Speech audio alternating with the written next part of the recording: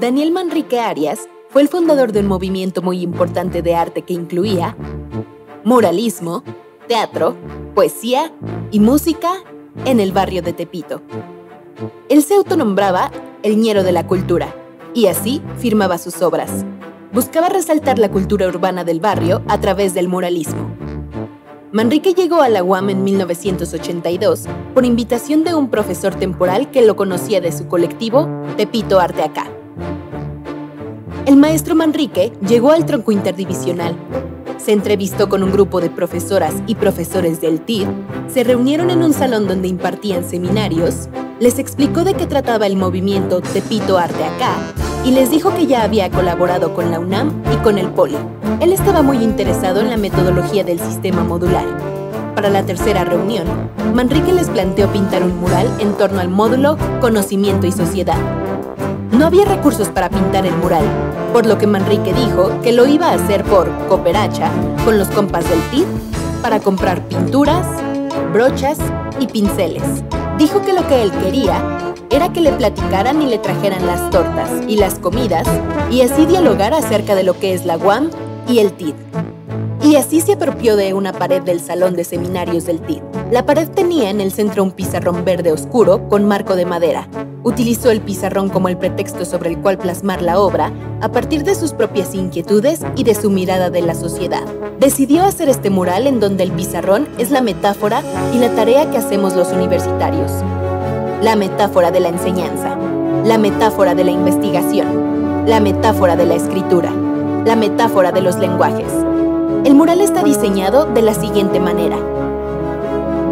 Por encima del pizarrón, nos encontramos con los intelectuales, sentados cómodamente, reclinados con libros en las manos y con una pluma escribiendo sobre el pizarrón.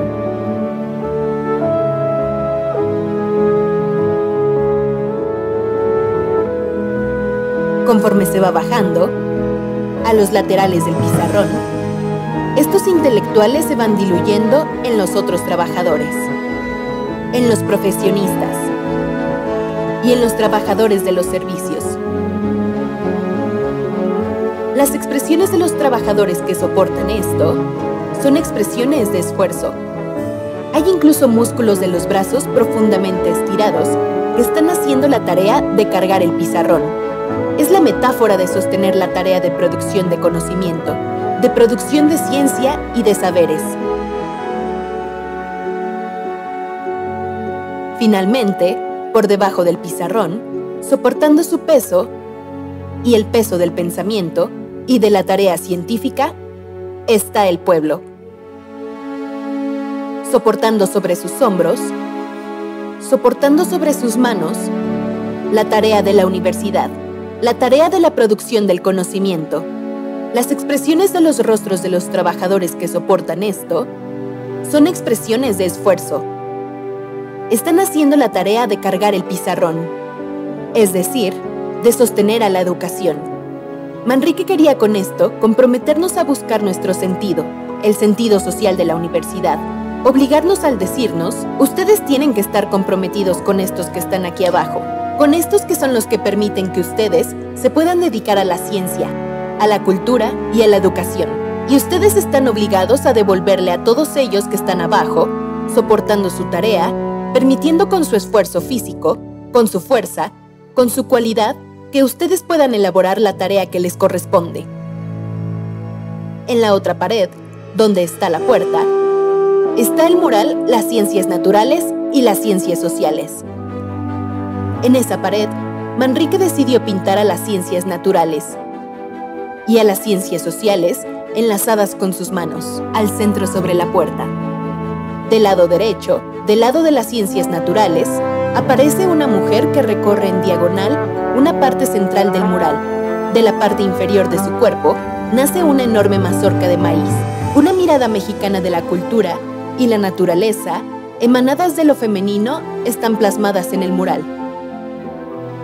Aparecen entonces otras figuras, asociadas a las ciencias naturales. Del otro lado, del de las ciencias sociales, aparece una fábrica, unos engranes.